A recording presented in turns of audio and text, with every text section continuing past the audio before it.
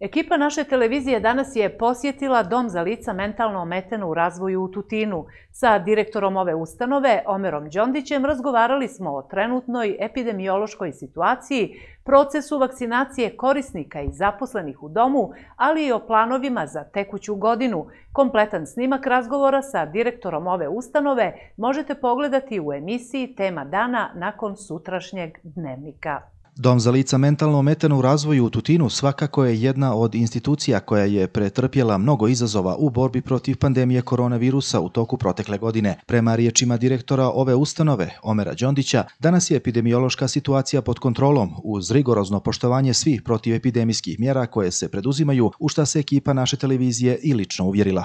Epidemiološka situacija u našoj ustanovi je, hvala Bogu, vrlo dobra, dakle vrlo povoljna i pod kontrolom.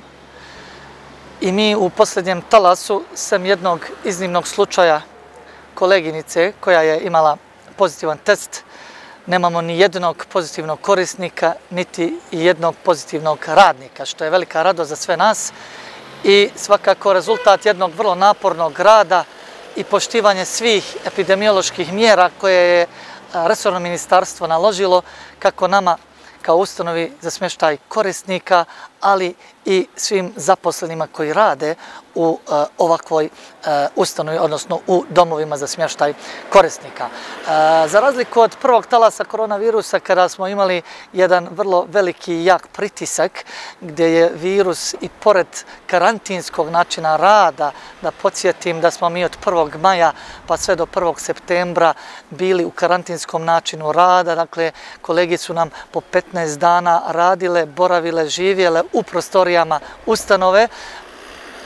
Tada smo i pored takvog, e, dakle, vrlo, vrlo rigoroznog režima rada, ipak nismo uspjeli se odbranimo i virus je ušao među korisnike. Hvala Bogu, bez jednog fatalnog slučaja, dakle, korisnici se svi oporavili, dobro su, a sada u ovom drugom talasu, hvala Bogu, nemamo ni jednog pozitivnog korisnika. Nadamo se da je i dobar dio korisnika stekao e, imunitet, odnosno određena antitijela ali svakako uh, jedan rad, jedan, jedno zalaganje svih kolega, prije svega poštivanje svih epidemioloških mjera, jesu rezultirale da nemamo problema sa koronom u ovom drugom ili nazovimo trećem talasu koji te kako izaziva ogromne probleme uh, u cijeloj Srbiji. I kada govorimo o vakcinaciji korisnika i zaposlenih u domu, možemo je ocijeniti kao vrlo uspješnu, naglašava Đondić. Ono što je značajno spomenuti da smo mi već 77 korisnika vakcinisali,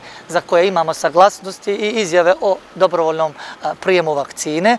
I imamo od njih 41 revakcinisano, također imamo 7 zaposlenih koji su e, primili vakcinu.